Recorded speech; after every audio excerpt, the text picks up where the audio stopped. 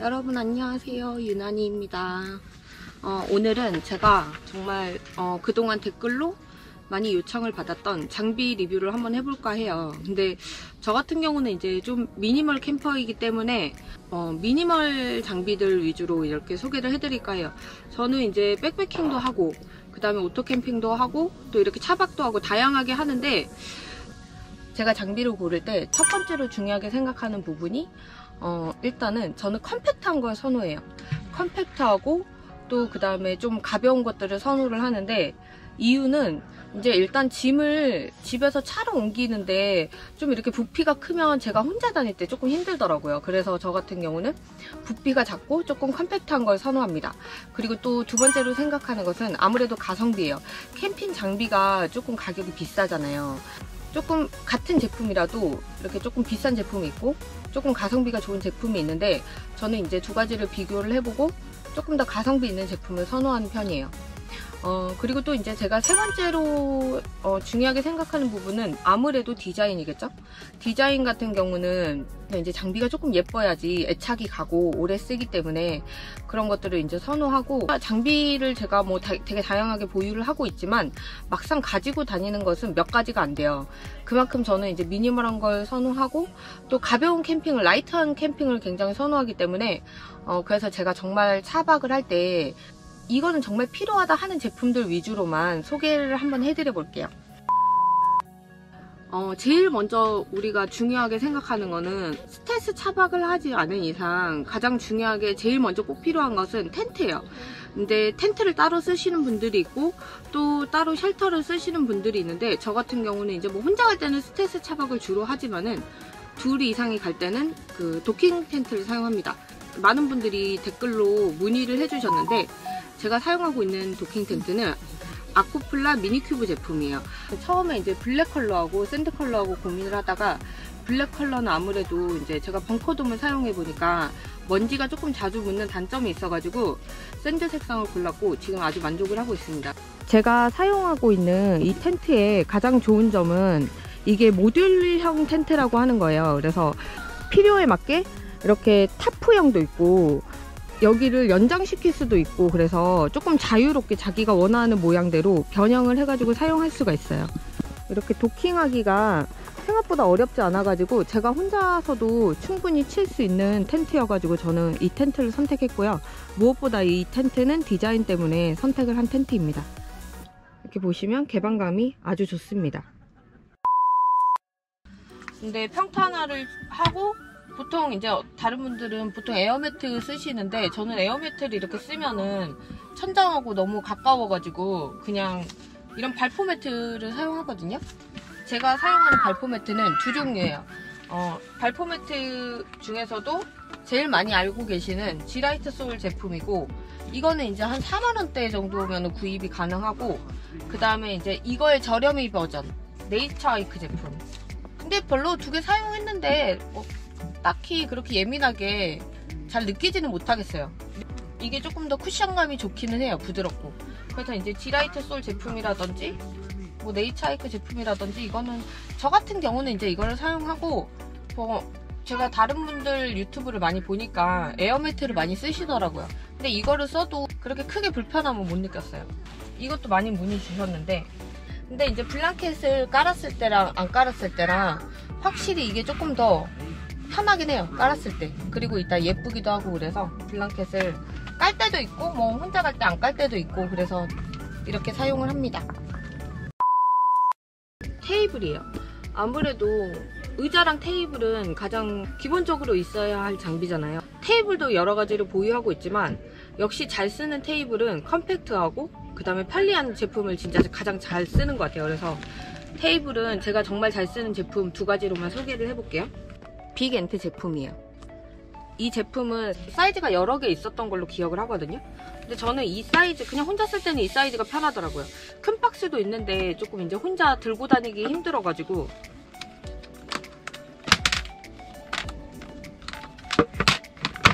이렇게 집에서 보관할 때는 이렇게 보관하시면 굉장히 편하거든요. 이거를 다 따로 구입할 수가 있어요. 이 나무판도 따로 구입하실 수 있고 이 상자도 따로 구입하실 수 있어요. 어, 어, 아이스박스는 이렇게 보냉백으로 이거 사용하시면 되고 여기다 이렇게 넣어가지고 보관할 수 있어요. 이렇게. 저는 진짜 혼자 갈 때 이 테이블 하나랑 아이스박스만 단독으로 사용할 때가 많아요. 두 번째로 소개해드릴 테이블은 미니멀웍스의 모카 테이블입니다. 어, 일단 조립하기 편하고 아래 메쉬가 있어가지고 가벼운 물건을 올려놓기가 좋아요. 뭐 원목이라 조금 무거운 게 흠이지만 박스와 같이 제가 정말 자주 사용하는 장비입니다. 행어가 있어서 자주 쓰는 조리기구나 컵을 걸어두면 편리해요. 랜턴 거리도 포함되어 있어서 밤에 요리할 때 편하고 10만원대에 구입할 수 있습니다. 의자 같은 경우는 작은 것도 있고 뭐 백패킹용도 있고 다양하게 가지고 있지만은 어, 차박을 할 때는 저는 원래는 이 의자를 가장 많이 사용했었거든요. 이거 정말 많은 분들이 문의를 해주셨는데 이거는 이제 모 유명한 브랜드 제품 중에 되게 고가의 릴렉스 체어가 있는데 이거 같은 경우는 3만원대에 그냥 편하게 진짜 편하게 막 사용할 수 있어가지고 가벼워요 이거는 진짜 가볍고 여기 가방 안에 다 패킹이 돼요. 원래 이제 사실 진짜 오캠용 큰 의자 같은 경우도 보유를 하고 있지만은 진짜 잘 안 쓰고 오캠을 가더라도 저는 이제 이런 의자를 사용합니다. 제가 정말 많이 사용했죠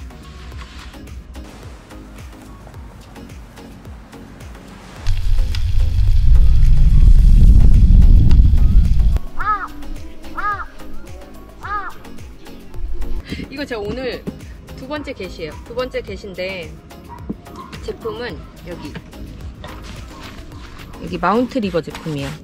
마운트 리버 제품인데 이 의자는 진짜 신경을 진짜 많이 쓴 제품이야. 보면은 이게 보면은 가방을 사실 가방 잃어버리기 쉽잖아요. 가방을 요렇게럼 말아가지고 이렇게 쏙 이렇게. 그래서 딱 붙이면 돼. 그리고 이거 이, 이 의자는 또 진짜 세심한 부분이 있어. 보시면은 이거 대박이죠? 여기에 겨울에 핫팩을 넣을 수 있어. 이게 핫팩 넣으면 우리 겨울에 진짜 솔직히 엉덩이 엄청 시렵잖아요. 핫팩 넣어가지고 이렇게 딱 붙이기만 하면 돼요.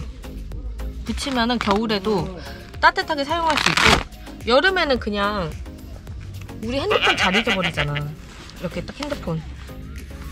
편리하죠? 평상시에 이렇게 앉아가지고 막 요리하다가 누울 때는 이렇게 뒤로 눕혀져. 어, 이거 왜 소리 나지? 잘못 꼈나? 어.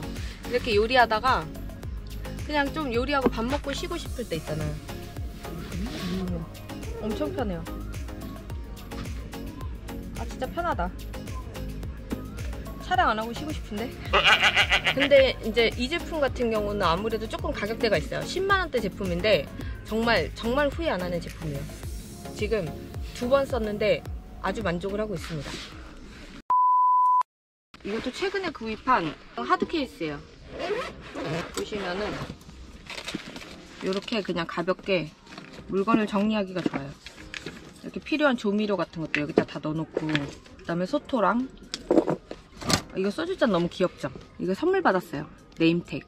제가 이거를 소개해드린 이유는 정말 또 이게 많은 분들이 댓글로 문의 주셨던 이 집게 같은 경우는 많은 분들이 물어보시더라고요. 약간 특이하게 생겨가지고 그런가 봐. 고기 같은 거 먹을 때 이렇게 사용하거든요. 이렇게. 이거 집게가 가위 집게라고 검색하시면은 한 6,000원대에 구입하실 수 있으세요.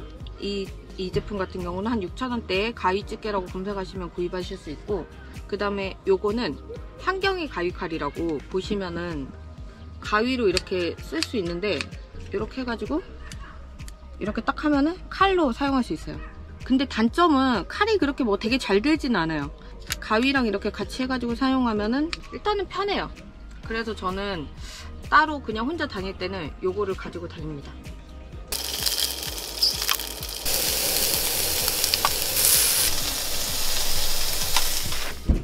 이거는 소개해드릴 장비는 아닌데 이것도 많은 분들이 물어봐 주셔가지고 이거는 제가 그냥 스위스 여행 갔을 때 사온 컵이에요. 이렇게 비너가 달려있는 컵인데 사실 조금 뭐 가- 무, 무게가 가볍진 않은데 그냥 예뻐서 자주 사용합니다. 중요한 장비 중에 하나죠. 라이트. 제가 사용하는 라이트는 많은 분들이 아실 거예요. 저는 크레모아 제품 사용해요. 크레모아 제품은 이제 큰 거 사이즈 하나랑 어, 미니랑 해가지고 이걸 뭐 용도에 맞게 이거 두 개를 사용을 하고 이것도 이제 많이 질문 주시는데 이건 샤오미 랜턴이에요. 어, 이렇게 돌리면은 밝기가 조절이 돼요. 그래서 약간 그냥 감성용으로 이렇게 놔두고 사용을 합니다.